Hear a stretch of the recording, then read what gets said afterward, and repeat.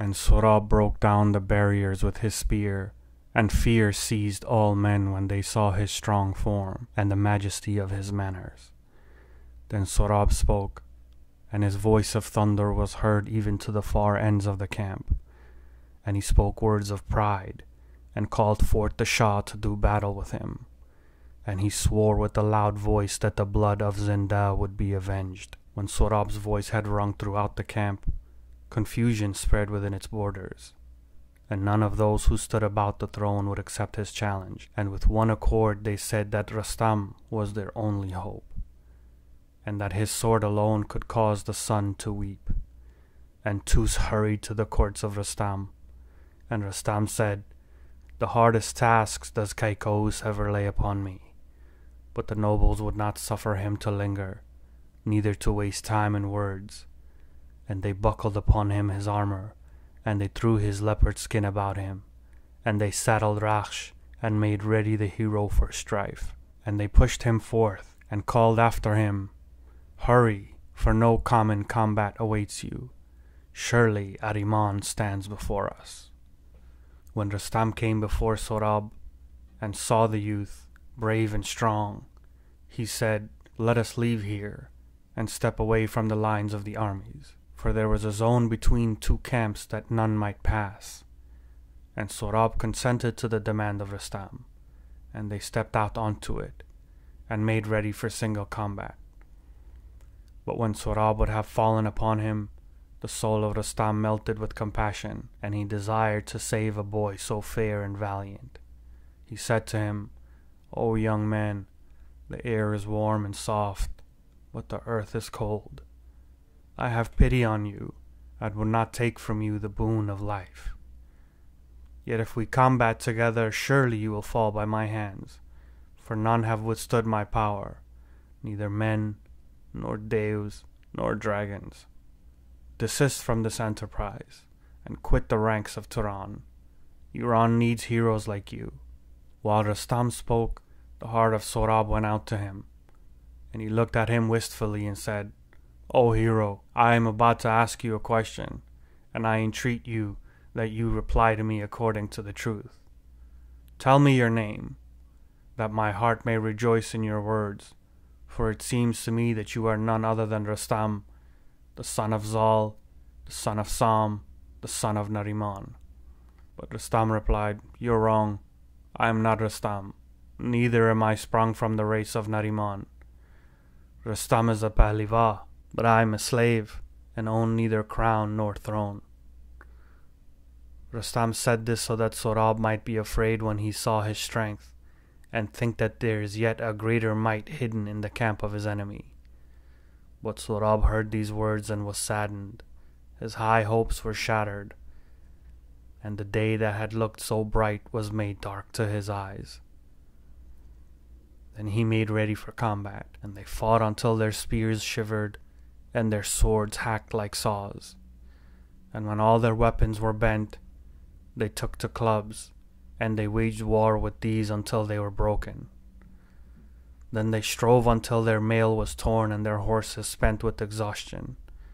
And even when they could not desist, they wrestled one another with their hands till sweat and blood ran down from their bodies.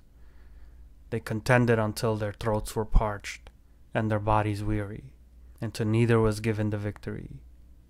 Then they stayed a while to rest, and Rustam thought in his mind how in all his days he had not coped with such a hero, and it seemed to him that his contest with the white Dev was nothing compared to this. Now, when they had rested a while, they fought again with bows and arrows, but still none could surpass the other. Then Rustam strove to hurl Sohrab from his steed, but to no avail, and he could shake him no more than the mountain could be moved from its seat. So they took themselves again to clubs, and Sohrab aimed at Rustam with might and smote him. And Rustam reeled beneath the stroke, and bit his lips in agony. Then Sohrab boasted of his advantage, and bade Rustam go and measure himself with his equals, for though his strength is great, he could not stand against a youth. So they went their ways, And Rustam fell upon the men of Turan and spread confusion far and wide among their ranks. And Sohrab raged along the lines of Iran, and men and horses fell under his hands. And Rustam was sad in his soul, and he turned with sorrow into his camp. But when he saw the destruction Sohrab had wrought, his anger was kindled, and he reproached the youth, and challenged him to come forth again to single combat. But because the day was far spent, they resolved to rest until the morning. Then Rustam went before Kaikous and told him of this brave lad, and he prayed to Ormuzd that he would give him the strength to vanquish his foe. Yet he made ready also his house, lest he fall in the fight, and commanded that a tender message be sent to Rudaba, and he sent words of comfort to Zal his father, and Sohrab too in his camp lauded the might of Rustam, and said how the battle had been sore, and how his mind had misgiven him of the issue. And he spoke to Haman, saying, My mind is filled with thoughts of this aged man, my adversary for it would seem to me that his stature is like mine, and that I see about him the tokens that my mother told me of. And my heart goes towards him, and I wonder if it be Rustam my father. For it behooves me not to combat him. Therefore I beg you, tell me how this may be. But Haman answered and said, I have often looked upon the face of Rustam in battle, and my eyes have witnessed his deeds of valor. But this man in no way resembles him, nor does he wield the club the same way. In vileness Haman said these things, because Afrasiab had joined him to lead Sohrab into destruction, and Sohrab held his peace, but was not wholly satisfied. When the day had begun to lighten the sky and clear away the shadows, Rustam and Sohrab strode forth to the midway spot that had stretched between the armies and Sohrab held in his hands a mighty club, and the garb of battle was upon him. But his mouth was full of smiles, and he said of Rustam how he had rested. And he said, Why have you prepared your heart for battle? Cast from you, I beg, this mace and sword of vengeance, and remove your armor, and let us sit in friendship, and let wine soften our angry deeds.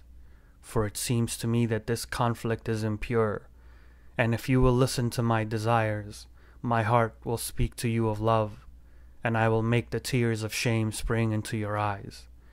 And for this cause I ask you yet again, tell me your name. Neither hide it any longer, for I behold that you are of a noble race, and that it would seem to me that you are Rustam the chosen one, the lord of Zabulistan, the son of Zal, the son of Sam the hero. But Rustam answered, O hero of tender age, we have not come forth to parley, but to combat, and my ears are sealed against your words of lure. I am an old man, and you are young, but we are girded for battle, and the master of the world will decide between us. Then Sohrab said, O man of many years, will you not listen to the counsel of youth? I wanted to spare you, that your soul leave you on your bed, but you have elected to die in combat. That which is ordained must be done, therefore let us make ready for the conflict. So they made ready, and when they bound their steeds, they fell upon each other, and the crash of their encounter was heard like thunder throughout the camps. And they measured their strength from the morning until the setting sun, and when the day was about to vanish, Sohrab seized upon Rustam by the girdle and threw him upon the ground, and kneeled upon him, and drew his sword from his scabbard, and would have severed his head from his body. Rustam at that point knew that only trickery could save him, so he opened his mouth and said, O young man, you don't know the customs of combat. It is written in the laws of honor that he who overthrows a brave man for the first time should not destroy him, but preserve him for a second fight. Only then it is given to him to kill his adversary. And Sohrab listened to Rustam's words of craft and stayed his hand, and let the warrior go. And because the day had ended, he sought to fight no more. Then Haman came to him, and asked of the adventures of the day, And Sohrab told him how he had vanquished the tall man, and how he had granted him freedom. And Haman reproached him with his folly, and said, Alas, young man, you fell into a trap, for this is not the custom among the brave, and now perchance you will fall under the hands of this warrior. Sohrab was embarrassed when he heard these words, but he said, For in an hour we meet again in battle, and surely he will not stand a third time against my strength. In the meantime, Rustam had gone beside a running brook to wash his limbs, and prayed to God in his distress. And he begged of Ormuzd to grant him such strength that the victory must be his. And Ormuzd heard him, and gave to him such strength that the rock whereon Rustam stood gave way under his feet, because it had not the power to bear him. When the time for combat had come, Rustam turned to the meeting place and his heart was full of cares and his face full of fears. But Sohrab came forth like a giant refreshed, and he ran at Rustam, and cried with the voice of thunder, O you who fled from battle, why have you come out once more against me? But I say to you, this time your words of guile would not save you. And Rustam, when he heard this, and looked upon him, was seized with misgiving, and learned to know fear. But he didn't show his fears, and made ready for the fight. And he closed upon Sohrab with a new found might and shook him terribly. And though Sohrab returned his attacks with vigor, the hour of his overthrow had come. For Rustam took him by the girdle and hurled him to the earth and broke his back like a reed, and he drew forth his sword to sever his body. Then Sohrab knew it was the end, and he gave a great sigh and writhed in his agony and he said, That which has come about is my fault, and henceforth will my youth be a theme of derision among the people. But I sped forth not in empty glory, but went out to seek my father, for my mother had told me by what tokens I should know him. And I perish for longing after him, and now my pains have been fruitless, for it had not been given to me to look upon his face. Yet I say to you, if you should become a fish that swims in the depths of the ocean, if you should change into a star that is concealed in the farthest heaven, my father would draw you forth from your hiding place and avenge my death upon you when he learns of my fate. For my father is Rustam the Pahliva, and it will be told to him how that Sohrab his son perished in the quest to find his father. When Rustam heard these words, his sword fell out of his grasp, and he was shaken with dismay and there broke from his heart a groan of anguish, and the earth became dark before his eyes, and he sank down lifeless beside his son.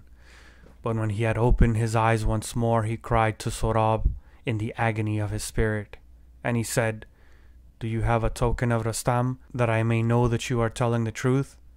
For I am Rustam the unhappy, and may my name be struck from the list of men. When Sohrab heard these words, his misery was boundless, and he cried, If you are indeed my father, then you have stained your sword with the blood of your son, and you did this of your own stubbornness. I tried to turn to you to love, and I asked you your name, because I thought I saw that you had the features my mother spoke of. But I appealed to your heart in vain, and now the time for meeting is gone. Yet open my armor and regard the jewel upon my arm, for it is an onyx given to me by my father, as a token whereby he should know me. Then Rustam did as Sohrab said, and he opened his mail and saw the onyx. And upon seeing it, he tore off his clothes in distress, and he covered his head with ash. And the tears of his penitence ran down from his eyes, and he roared aloud in his sorrow. But Sohrab said, It is in vain. There is no remedy. Don't cry, for it was written that this should be. Now, when the sun had set, and Rustam didn't return to the camp, the nobles of Iran were afraid, and they went forth to seek him. And when they had travelled but a little way, they came upon Rakhsh, and when they saw that he was alone, they raised a wailing, because they thought that Rustam was killed, and they went and told Kai Ka'us what they saw. And he said, Let Tus go forth and see if this indeed be so. And if Rustam is truly fallen, let the drums call men to battle, that we may avenge him upon this Turk. Now Sohrab, when he saw from afar that the men had come out to see Rustam, turned to his father and said, I ask that you do me an act of love. Let the Shah not fall upon the men of Turan, for they came forth not in hatred to him, but to do my desire. And on my head alone rests this expedition. Therefore I do not want them to die when I cannot defend them. As for me, I came like the thunder, and I vanish like the wind. But maybe it is given to us to meet again above. Then Rustam promised to do the desires of Sohrab, and he went before the men of Iran. And when they saw him alive, they set up a great shout. But when they saw that his clothes were torn, and that he bare about him the marks of sorrow, they asked him what happened. He told them how he had caused a noble son to perish, and they grieved for him and joined in his sorrow. Then he bade one among them to go into the camp of Turan and deliver this message to Haman. The sword of vengeance must slumber in the scabbard. You are now the leader of the host. Return to wherever you came from, and depart across the river quickly. As for me, I will fight no more, yet neither will I speak to you again for you hid from my son the tokens of his father. Your iniquity led him to this pit.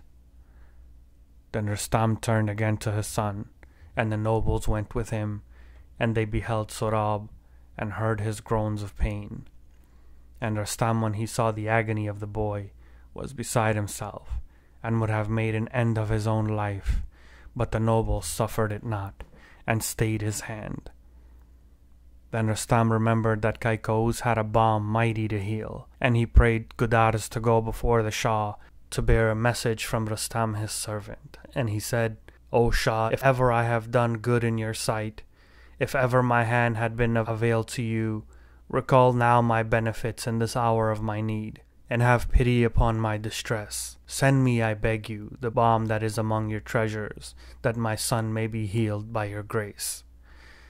And Gudar sped to bear the message to the Shah, but the heart of Kaikous was hardened, and he remembered not the benefits he had received from Rustam, and he recalled only the proud words that he had spoken before him, and he was afraid lest the might of Sohrab be joined to that of his father, and that they together prove mightier than he, and turn upon him. So he shut his ear to the cry of his Pehliva, and Gudar bore back the answer of the Shah, and he said, the heart of Kaikous is hard and unyielding, and his evil nature is like a bitter gourd that never ceases to bear fruit. Yet I counsel you, go before him yourself and see if maybe you can soften his heart. And Rustam in his grief did as Gudarz counselled, and turned to go before the Shah. But before he reached the Shah, a messenger came to him and said that Sohrab had departed from the world. And Rustam let out a cry such that the world had not heard, and he heaped reproaches upon him, and he could not cease from complaining that the son had fallen by his hands. And he cried, and said, I that am old have killed my son. I that am strong have uprooted this mighty boy. I have torn the heart of my child, I have laid low the head of a. And he made a great fire, and flung into it the tent of many colors, and the trappings of Roum, his saddle, his leopard skin, his armor, well tried in battle, and all the jewels of his throne. And he stood by and looked on to see his pride laid in the dust. Then he commanded that Sohrab be covered in rich brocades of gold worthy of his body. And when they had enfolded him, and Rustam learned that the Turanians had quitted the borders, he made ready his army to return to Zabulistan. The nobles marched before the casket, and the drums of war elephants were shattered, the cymbals broken, and the tails of the horses were shorn to the root, and all the signs of mourning were abroad. Now Zal, when he saw the host returning thus in sorrow, wondered what happened, for he saw Rustam at their head, and knew that the wailing was not for his son, and he came before Rustam and questioned him. And Rustam led him to the casket, and showed him the youth that was like in feature and in might to Sam the son of Nariman. And he told him everything that had happened, and how this was his son, who in years was an infant, but a hero in battle. And Rudaba too came out to see the child, and she lamented with them. Then they built a tomb for Sohrab, and Rustam laid him therein in a chamber of gold, perfumed with ambergris, and he covered him with brocades of gold. And when it was done, the house of Rustam became like a tomb, and its courts were filled with the voice of sorrow, and no joy would enter into the heart of Rustam, and it was long before he held his head high. Meantime the news spread to Turan, and there too did all men grieve and weep for the child that has fallen in his bloom. And the king of Samangan grieved, but when his daughter Tamina learned it, she was beside herself with affliction. And Tamina cried after her son, and bewailed the evil fate that had befallen him. Then she caused the garments of Sohrab to be brought to her, and his throne and his steed. And she regarded them, and stroked the steed and poured tears upon his hooves. And she cherished the robes as though they had yet contained her boy. And she pressed the head of the palfrey to her breast, and she kissed the helmet that Sohrab had worn. Then with his sword she cut off the tail of his steed and set fire to the house of Sohrab, and she gave his gold and jewels to the poor. And when a year had thus rolled over her bitterness, the breath departed from her body, and her spirit went forth after Sohrab her son.